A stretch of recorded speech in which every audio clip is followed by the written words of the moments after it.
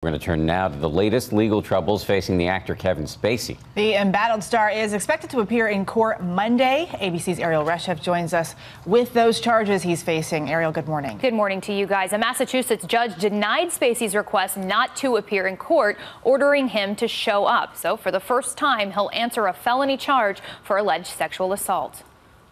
Kevin Spacey due in court Monday. The embattled actor expected before a Nantucket judge to be arraigned on a felony sexual assault charge.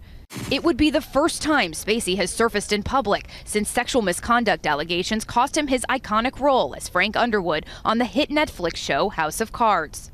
But I have to do these sort of things now. Makes me seem more human. A character the 59 year old seemingly invoked in this cryptic video he posted over the holidays. And my confidence grows each day that soon enough you will know the full truth. The two time Academy Award winner accused of groping the teenage son of former Boston News anchor Heather Unruh at a Nantucket bar in 2016. Shame on you for what you did to my son. This was a criminal act. Police now saying the 18 year old, a busboy at the time, may have shot video of the alleged encounter, sending it to his girlfriend on Snapchat because she did not believe him.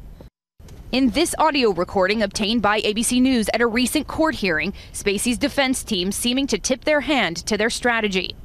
He indicated that he was 23 years old, correct? That's correct. Was that a correct or an incorrect or a false statement? That was an incorrect statement. Calling the accuser's credibility and that video into question. What the video shows is a person's hand made contact with the shirt, correct? Yes. Okay, not the, any body part. Correct. You don't see any body parts. We should expect Spacey's team to put forth a pretty vigorous uh, defense. They are going to fight back pretty strenuously. And Spacey is charged with felony indecent assault or battery. He has denied the allegations in the past, but has not commented on this criminal charge. He's also facing investigations for alleged sexual misconduct in Los Angeles and in England. All right, Erielle Reshef, thank you very much. Appreciate it.